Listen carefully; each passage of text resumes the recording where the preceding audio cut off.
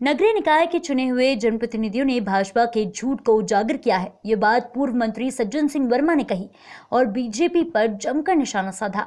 प्रदेश के पूर्व कैबिनेट मंत्री एवं कांग्रेस के वरिष्ठ नेता सज्जन सिंह वर्मा ने नगरीय निकायों के चुने हुए जनप्रतिनिधियों द्वारा शिवराज सरकार के मंत्री भूपेंद्र सिंह के निवास पर धरना दिए जाने पर भाजपा और शिवराज सरकार को झूठ फैलाने वाला करार दिया है। वर्मा ने कहा कि प्रदेश के 380 नगरीय निकायों के अध्यक्षों तथा चुने हुए जनप्रतिनिधियों ने धरना देकर अपना विरोध दर्ज कर शिवराज तथा भाजपा की झूठी सरकार को आगाह किया है।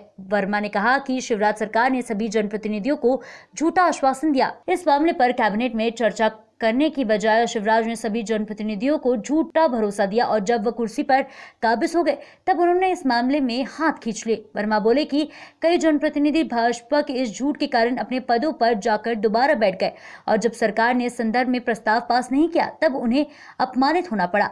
चार से छह दिन कुर्सी पर बैठने के बाद उन्हें यह संदेश मिला कि उनका कार्यकाल नहीं बढ़ाया जा रहा है। इससे अपमानित होकर इन जनप्रतिनिधियों ने चुनावों का बहिष्कार करने तथा इस्तीफा देने का मन बनाया है। उन्होंने कहा कि यह झूठ परोसने की आदत भारतीय जनता पार्टी की परंपरागत रही है और जनप्रतिनिधियों ने जो निर्णय लिया है, वह सही निर्णय लिया है कि वह लोग झूठ के साथ नहीं रहेंगे तथा वह कांग्रेस के साथ आएँगे। इंदौर से सतीश शर्मा की रिपोर्ट। नगरीय प्रशासन के के जो अध्यक्ष रहे हैं नगरीय परिषद निकायों के उन्होंने कहीं ना कहीं चुनाव का बहिष्कार करने की बात कही है। ये भी कह रहे हैं कि हम पद से इस्तीफा देंगे।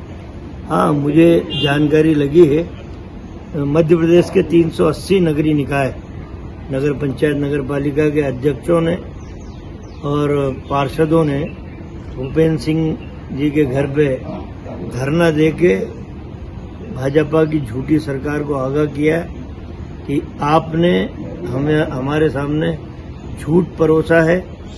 आपने कैबिनेट में इस बात को चर्चा करने की बजाय आपने कहा कि हम आपका कार्यकाल बढ़ा रहे हैं। 380 नगरीय निकाय के अध्यक्ष और पार्षदों का। कई लोग उनमें से जाके अपने सीट पे बैठ गए।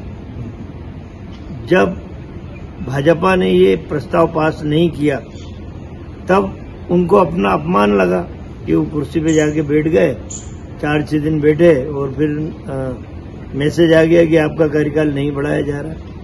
ये झूठ परोसने की आदत भारतीय जनता पार्टी की परंपरागत रही है और उन्होंने जो निर्णय लिया, तीन सौ अस्सी नगरीय निकाय के चुने हुए प्रतिनिधियों ने, सही निर्णय लिया कि झूठ का साथ नहीं देंगे, चुनाव का बहिष्कार तो करेंगे, लेकिन भाजपा का साथ नहीं देंगे।